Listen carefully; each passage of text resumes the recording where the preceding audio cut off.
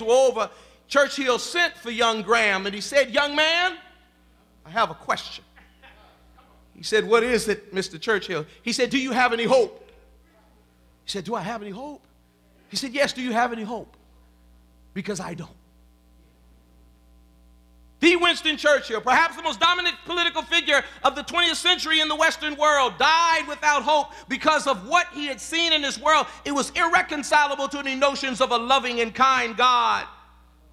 I had a brother who was in my church when I was pastoring First Shiloh Baptist Church in Buffalo, New York. He was part of the Desert Storm campaign. Faithful in church, sang in the men's choir. But then after he had finished his tour of duty and come back home, he didn't come back to church. And I ran into him in Wegmans supermarket. I said, brother, how come you haven't come back to church? He said, Reverend, with all due respect, I don't believe that stuff no more. I said, What? He said, I don't believe in that stuff no more. I said, What do you mean? He said, When you have seen babies blown up, and you have seen your buddies get blown up by an improvised exploding device, and people gas with poison gas, he says, I, I, I just don't believe that there is a God anymore. Harry Emerson Fosdick once said that atheism and agnosticism may be a man's opinion, but it's not his instinct. And sometimes that opinion is shaped by the bitter experiences in life that we simply cannot reconcile that God is or that God cares, because if He did, then why did the things in my life happen to me in the way that they happened to me?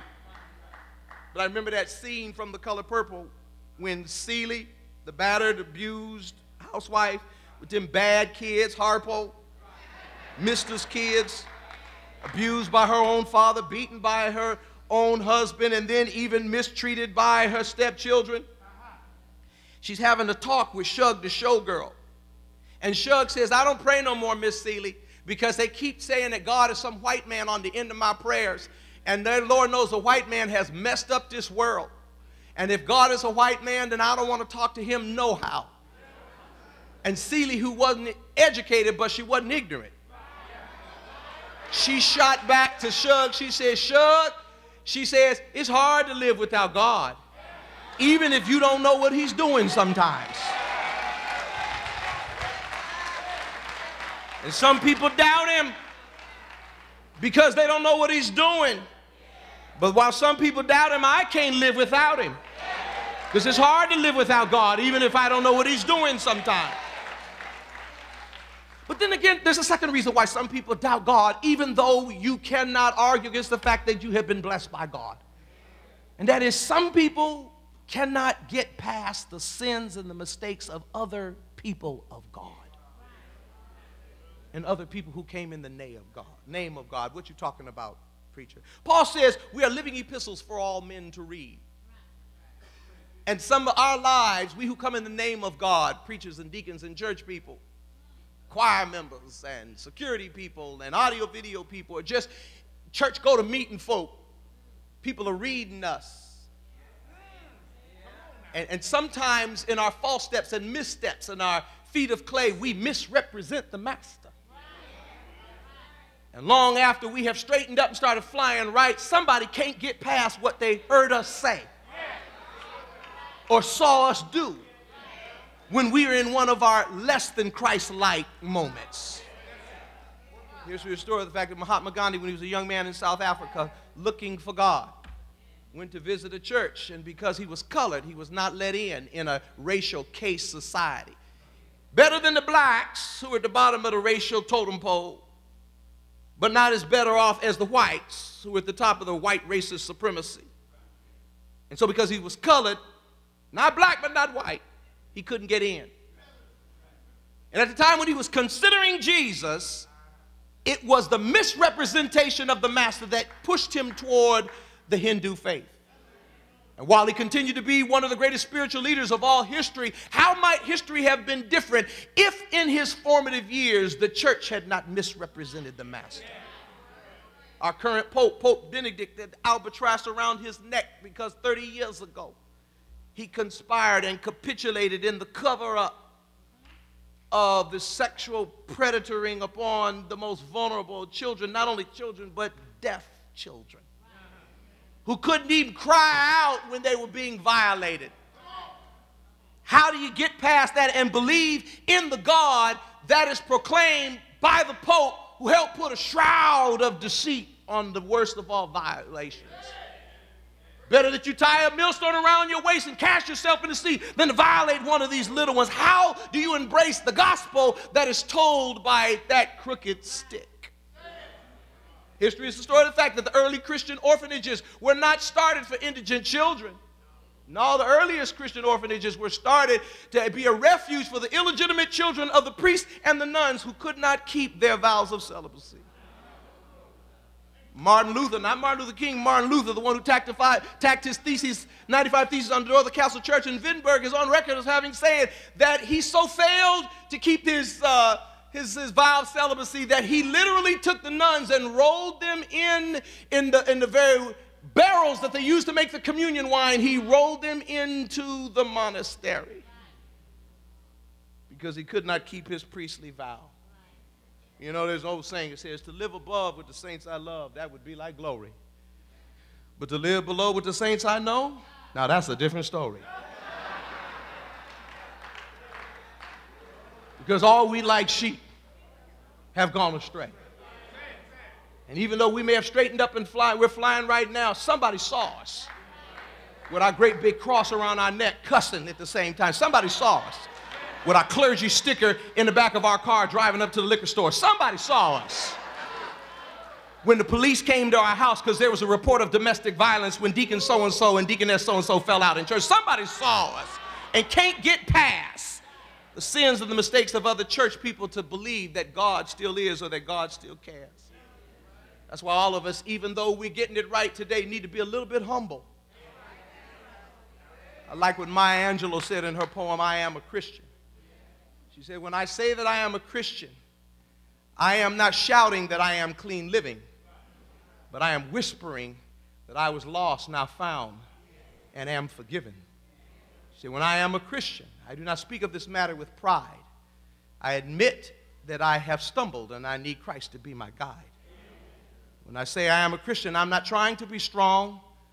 I profess that I am weak and I need His strength to carry on. When I say that I am a Christian, I'm not boasting of success.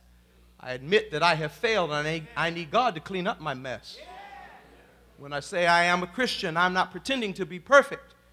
My flaws are far too visible, but God believes I'm worth it. When I say I am a Christian, my heart still feels the sting of pain. I have my share of heartaches, so I call upon His name. When I say I am a Christian, I am not holier than thou. I am just a simple sinner who receive God's good grace somehow.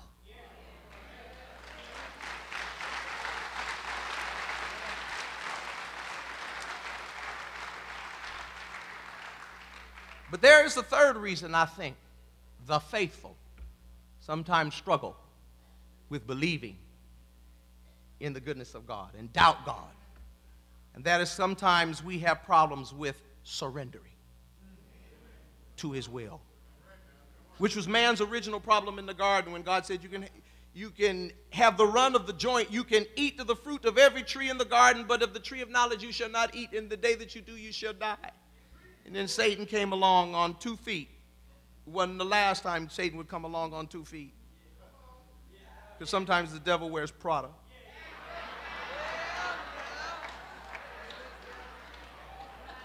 Help me, somebody. And said, What did God say to you? God said, We shall not eat of the tree of knowledge from the day that we do, you shall surely die. He said, No, that's not what God said. God said that if you eat of the tree of knowledge, you shall be like him. And so he gave them the false proposition that you can eat of the tree of knowledge, and through knowledge you can be like him and know good and evil, which is to know everything, which means we don't need God, which means we can get smart enough to then be able to declare independence from God. I can get smart enough to where I don't need to come to church all the time. I can go to college and get my degree, then I can just come on the first Sunday and get communion. I don't even need to come for the praise and worship and all the preliminaries. I'll just get there for the sermon. I can get smart enough, I'll just mail in my tithes. Or since I ain't really tithing, I'll just mail in my tip every now and then to keep my name on the roll. I can get smart enough, I don't have to be faithful. I don't got to go to Sunday school anymore, a Bible study, because now I know Shakespeare. We don't want to surrender I'm an elected official now. I own my own business now. I'm smart now. I don't got to do all this stuff that mama did, knee bent, head bowed, throwing kisses to God. I got to be controlled and refined. It bespeaks my social standing. That's why some of y'all always come out after church on Sunday tell me, ooh, Reverend, I almost shouted today. Almost?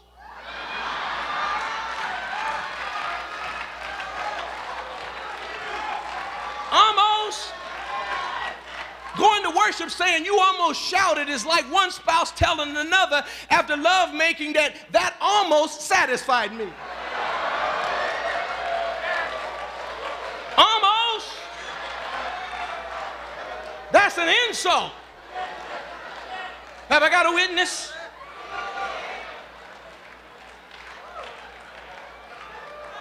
We don't want to surrender.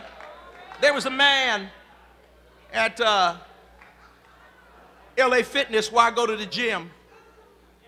And he said to me, Reverend, I've been trying to get him to come to church. He said, Reverend, if I come to your church, I have a question. Do I have to stop going to the club? And I got ready to answer him, and he said, Well, wait, wait, wait, I got another question. He said, Reverend, if, if I go to your church, do I, uh, he said, do, do, do I have to stop chasing women? And, and I, am not talking about just having one woman. He says, I like variety. So, so do I got to stop chasing women? I, I, and I got ready to answer. He said, no, no, no, I got another question. He said, if I come to your church, he said, I'd like to have a glass of wine with dinner. And, and, and, and, and so do I have to stop drinking? And, and I, I got ready to answer him. And, and he said, no, no, I got another question. And then he went on. He had about 12 questions. He just went on and on and on. And finally, I said, when he got done with his list, I said, listen, when you come to the Lord, there ain't but one thing you got to give up. He said, Well, what is that? I said, Control. You got to give up control. Jesus said, If any man will come after me, let him deny himself, take up his cross, and follow me. You got to give up control. You all heard the story about the little boy in the cookie jar? This little boy's mother had made some cookies for the church bakery. And she said, Boy, don't eat these, these for the church. He said, Okay, mama. Mama had to go run an errand. As soon as she left the house, he did what any self respecting boy would do. He grabbed a chair and began to climb up, up on the refrigerator to get the cookie. But to his dismay, Mama had forgotten something. Circled back around to the house, came in the door. When she got there, the boy was all up on the refrigerator. Had his hand shoved deep in the cookie jar, reaching for the biggest cookie down in there. And his mama said to him, Boy, get your behind down from that cookie jar. He said, Mama, I can't. She said, Listen, just take your hand out that cookie jar and come on down. He said, Mama, I can't. She said, Why can't you? He said, Because my hand is stuck. And she looked at it and she said, Boy, listen. She said, All you got to do is relax your hand and it'll slide right on out. He said, No, it won't, Mama. I can't. She said, Why can't you? He said, Because to relax my hand, I got to let go of the cookie.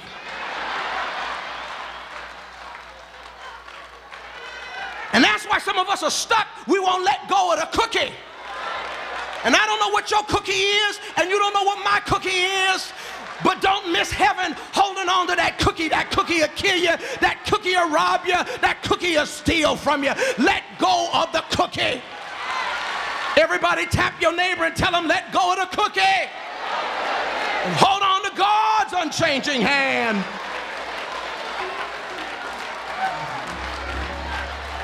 Jesus Paul said about Jesus, he emptied himself and became of no reputation and put on the form of a servant and then told us, Come unto me, all ye that labor and are heavy laden, and I will give you rest. You got to give up control. You got to let God sit at the center of your life, to sit on the throne of your own existence. So many of us are practic- practicing practical atheism. We want to be God unto ourselves. You can't be God unto yourself. You're just a dog realizing you got a master that's been better to you you've been to yourself. You got to bow down before Him and then worship and adore Him.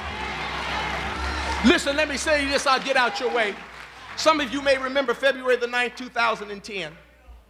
February the 9th, 2010. 27 days after